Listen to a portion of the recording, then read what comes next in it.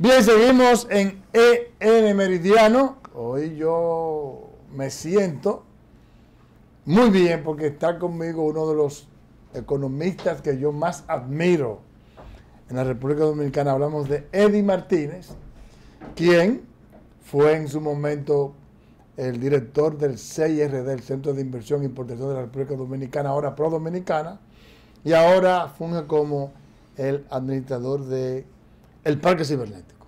Correcto. Entonces vamos por supuesto a hablar de lo que está pasando en el parque cibernético, todas las innovaciones, lo que está pasando y luego entraremos a otro tema económico, de cómo están las importaciones, la inversión y toda este, esta situación internacional que está impactando el mundo y por supuesto la República Dominicana. ¿Cómo está usted? Muy bien, muy bien. Agradecido de la oportunidad de estar aquí, compartir con los amigos televidentes. Así es. Siempre, sí. ¿Cómo está el parque cibernético? Está muy bien, muy bien. Eh, es un momento yo creo que eh, debemos aprovechar como país y obviamente nosotros como ecosistema por todo lo que eh, en el preámbulo tú mencionabas de, lo que está ocurriendo en el mundo y obviamente en República Dominicana. En el parque cibernético, como sabes, es un ecosistema que se compone de la parte educativa, tenemos un eje educativo que eh, fundamentalmente lo ejecuta el ITLA, el Instituto Tecnológico de las Américas, el cual también fungimos como presidente del Consejo. Eh, tiene su propia rectoría. Eh, también tenemos la parte de fomento al emprendimiento tecnológico y los centros de innovación, así como la parte empresarial eh, e inversión, que es la que también se lleva a cabo en lo que es la zona franca tecnológica del Parque Cibernético. Yo creo que en los tres segmentos eh, vamos muy bien, estamos, eh, digamos, en materia de innovación, yo creo que seguimos siendo la bandera insigne de República Dominicana, ya trascendiendo más allá del perímetro físico del mismo, y claro, en un mundo digital eso es lo que debe de ocurrir eh, pero también geográficamente nos estamos eh, expandiendo con alianzas importantes que estamos logrando, particularmente en este caso en la ciudad de Santiago, eh, en alianza con un sector privado de allí, donde también se está produciendo una especie de transformación del aparato productivo. Lógico, lo que está pasando en muchas otras partes. Pero en, sentido general estamos, estamos muy bien en la parte formativa, pues eh, en el ITLA eh, rondamos ya por unos 4.000 estudiantes presenciales. Obvio, esto se amplió con la pandemia. Eh, digamos, lo que ocurrió en el mundo fue una aceleración del mundo virtual. y eso incluye la educación virtual. y nosotros, por suerte, eh, teníamos una plataforma robusta, preparada para eh, eh, asistir en, ello, ¿verdad? A, cualquier contingencia como esta que se produjo. Y naturalmente, pues también pudimos incluir a mucha gente a partir de lo que es educación virtual, educación digital, usando las tecnologías, las plataformas que tenemos. Pero ya el mundo está volviendo a esa especie de normalidad post-COVID eh, donde hay un regreso a la parte presencial. Ahora en, septiembre pues comenzamos un nuevo periodo, los estudiantes están pues participando, eh, ya todos eh, volviendo a esa normalidad como decía, o la nueva normalidad, y en la parte de los centros de innovación pues seguimos ahora trabajando cada vez más el Centro de Innovación de Drones, el Centro de Innovación de Manufactura en 3D y el Centro de Innovación de Realidad Virtual y Aumentada, que yo diría que también es uno de los que más ha crecido. estamos eh, invirtiendo en el área de, eh, tanto en la parte de preparación, el tema de metaverso, de, cosas de, talento, como en la parte física de producción. Y en eso nos lleva precisamente a esto que se está llamando el Web 3, el, Web 3.0, eh, eh, después de las primeras dos etapas, eh, desde mediados de los 90, comienzo de los 90, principio de los 2000, con el Internet y todo lo que ha ocurrido con el mundo web, pues ahora, como sabes, también comienza, si se quiere, una transformación digital a partir de lo que se denomina en el mundo pues el, el Web3.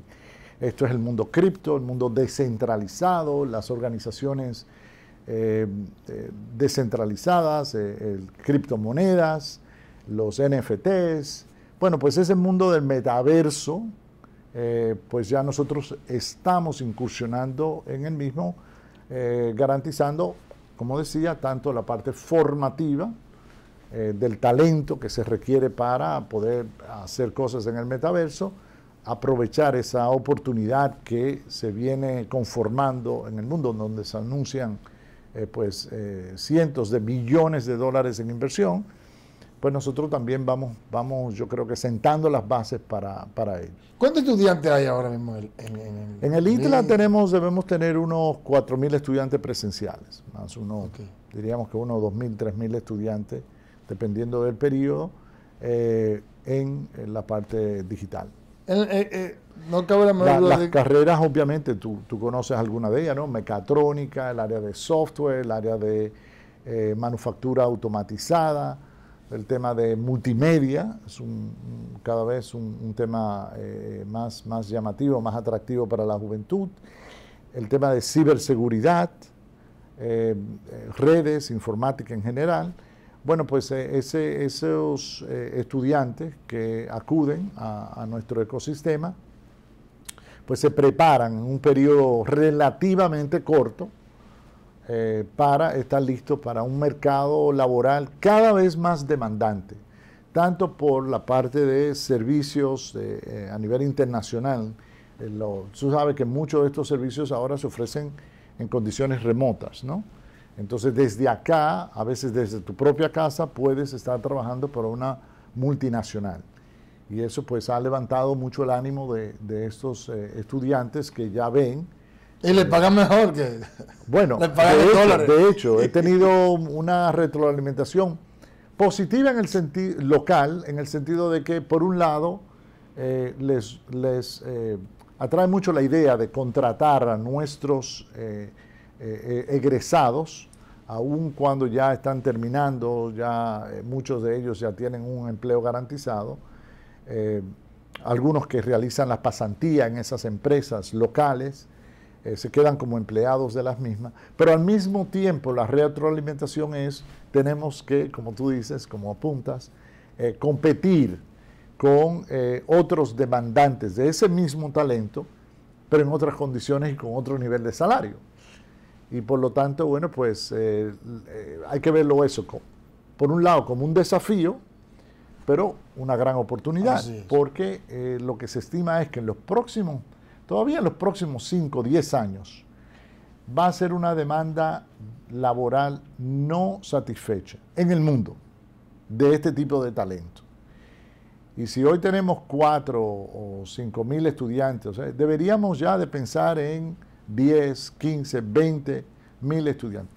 Eh, obviamente, tomando en cuenta también que otras universidades, otras instituciones, eh, como te decía, tanto privadas como, como públicas, pues pueden eh, ahí apoyar mucho, colaborar mucho con esos esfuerzos. ¿Qué posibilidad hay, o si, se está haciendo, de expandir el ITRA, el Parque Cibernético, a otras provincias importantes, Santiago, La Bueno, ya, ya, ya el, el ITLA y Parque, eh, como decía, los tres ejes del ecosistema vienen en un proceso de expansión.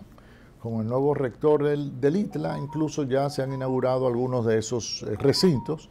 Ya antes, con, en la rectoría anterior, habíamos eh, inaugurado el recinto de Santiago, que tiene una, una participación importante allí pero ahora estamos en Asua, en San Pedro de Macorís y en, muchas provincias nos, nos, solicitan precisamente establecer eh, eh, recintos físicos, pero también tenemos los programas virtuales. Y eso, la virtualidad ha ayudado muchísimo a poder llevar eh, esos programas. Mira, uno de los, de los temas que más nos interesa conversar sobre ello y ver cómo lo podemos potenciar, yo creo eso es a través del papel de los municipios. Yo creo que si nosotros pensamos en municipios inteligentes, en territorios inteligentes, y hacemos alianza a nivel de los cabildos en algunos casos, sector privado en otros, quizás la combinación de ambos, nosotros podamos eh, abarcar más territorios cada vez más. Pero sí nos interesa mucho. En, una ocasión usted dijo que eh, la República Dominicana se está convirtiendo en el Silicon Valley del Caribe. Sí. Entonces, ¿qué tanto es una frase que, me gusta sí, haberla acuñado, sí. Así es. Entonces le pregunto, ¿qué tanto se ha venido logrando eso? Pues yo creo que ya, fíjate, el, reconocimiento que hay, eh, porque nosotros venimos de, estar eh, a nivel internacional, como sabes, primero en términos de commodities, éramos conocidos, el turismo no, nos ha dado a conocer, ya hay marcas muy reconocidas, caso de Punta Cana, por ejemplo, altamente reconocido internacionalmente, pero eh, en la parte tecnológica no éramos, eh, no ocupábamos ninguna posición eh, interesante de reconocimiento. Yo creo que eso ha venido cambiando bastante y por eso te digo que muchas de las demandas de los chicos dominicanos ya buscan en particular talento dominicano para emplearlos a remoto, cuando no pueden trasladarse físicamente o por un tema sencillo, la ecuación de costos eh, sí resulta beneficiosa para esas empresas que están eh, operando a nivel internacional emplear eh, personal técnico en República Dominicana. Y aún pagando esos excelentes, pues, puedo decir, 3, 4, 5 mil dólares por ese talento joven acá, mensual, aún así, cuando se compara con los mismos salarios a personas con el mismo talento, pues eh, naturalmente que resulta eh, muy beneficioso. Y yo creo que, eso se está dando ya en tantos casos de, empresas y de personas en particulares que lo, estamos notando por todos los lados. Y además la, demanda local. Vamos a una pausa y a la vuelta seguimos con esta interesante entrevista con Eddie Martínez, director del Parque Cibernético.